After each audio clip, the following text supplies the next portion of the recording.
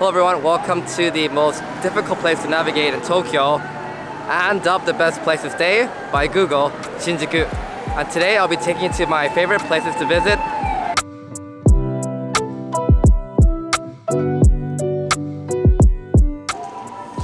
It's around 12 right now and I'm so hungry because I haven't really eaten breakfast. So the first place we're gonna go today is gonna be a ramen shop. But I'm so tempted to eat bubble milk tea too because I'm very very hungry and I'm super tired. So this is the first place I'll be taking you is a restaurant that serves tonkotsu ramen, pork bone soup. So the reason I'm taking you guys is because last night I actually went drinking and I'm super hungover right now so I need that warm soup to wake me up and cure this bad hangover right now.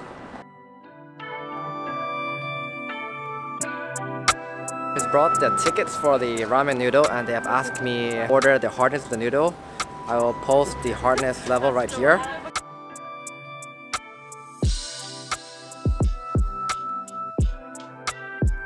The ramen just came.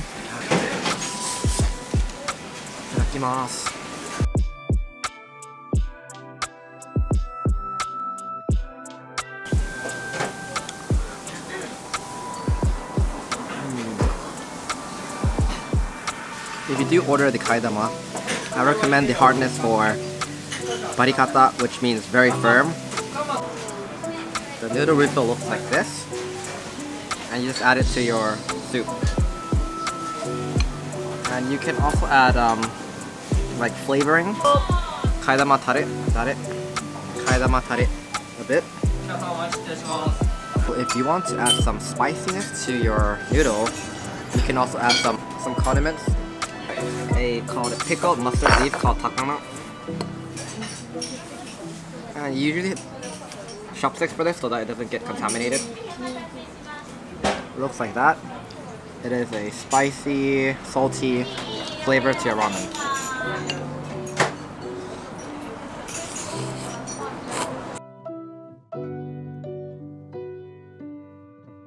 Finished eating um, breakfast slash lunch that definitely woke me up and filled my stomach so much I am actually super full from the refill.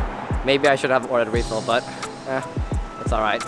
The next place that we're gonna go to is a place that I'm gonna visit to burn off some of the food I just ate and sweat off some of the alcohol from last night. Let's head to our next place right away.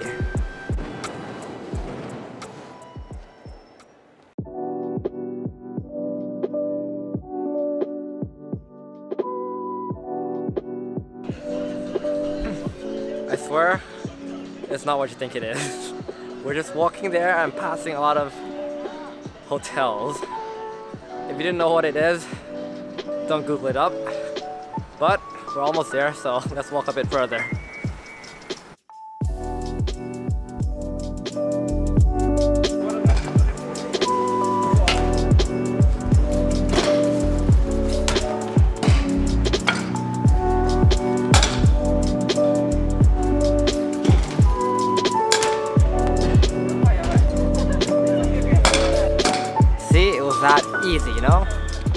Shot, I'm a natural at this.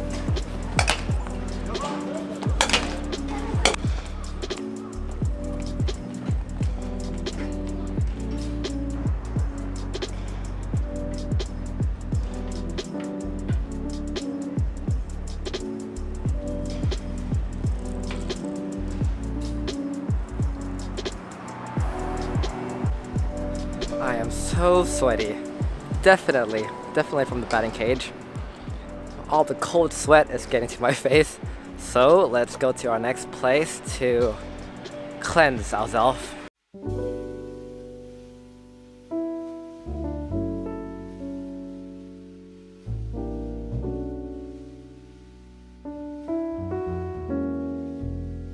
If you guys haven't already guessed it, the next place that we're going to go to is a bathhouse, which is right behind me, called Mannenyu. So since it's a bathhouse, I can't really take much footage inside. And this one is located right in the middle of K-Town. And it has around four types of bath. And the cost to go in is around, oh, it's only 500 yen. It is also friendly to people who are tattooed because a lot of, most Japanese onsen usually don't allow you to go in if you have a tattoo. And again, since it is a bathhouse, I can't really bring you guys inside with me.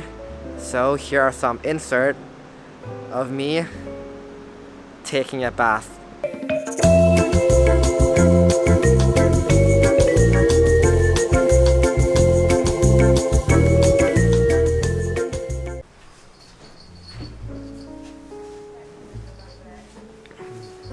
Drinking milk after a hot bath just tastes hits different.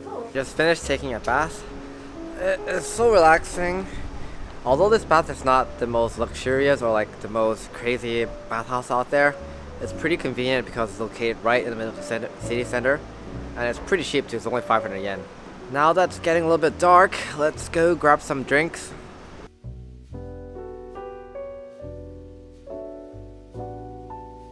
Finish of the night, I'm here at this restaurant to eat some yakitori. After a the bath, I've got a bit hungry, so go inside and grab some skewered chicken yakitori.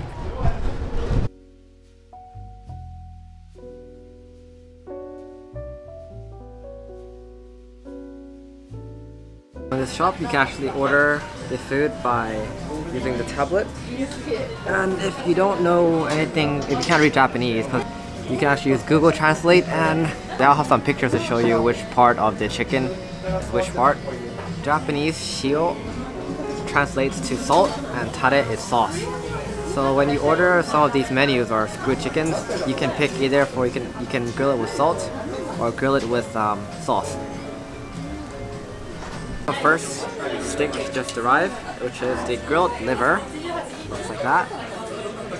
And I ordered in the tare sauce, so it's covered in like sweet sauce, uh, like sweet soy sauce.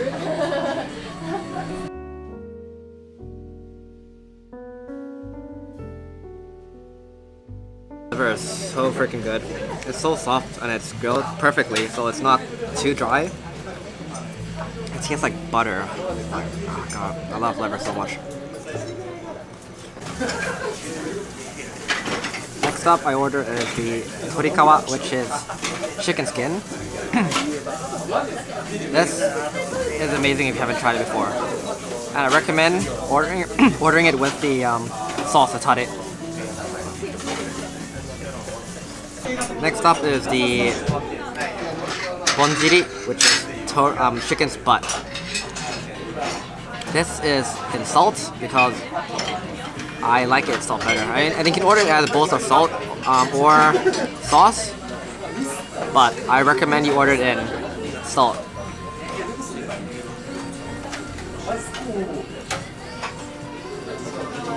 They grill it in salt so well, and the crispiness is just right. You can smell the charcoal too, so it tastes amazing.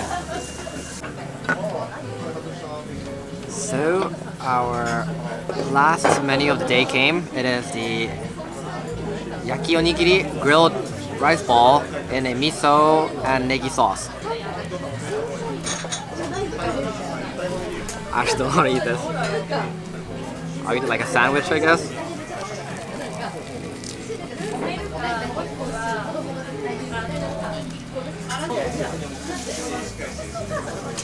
Well, the grilled rice is really crispy on the outside, and the seaweed really helps bring out that like smoky flavor. It's really good. Let's pay for uh, pay for the food. I think if you write a review for this restaurant, you also get 10% off. So you actually pay from the um, QR code. Uh, I guess you write a review and you'll get 10% off for this restaurant. Finished eating the food. It was really good. But since the shop is a bit small, I recommend you guys um, book here and call and book in advance.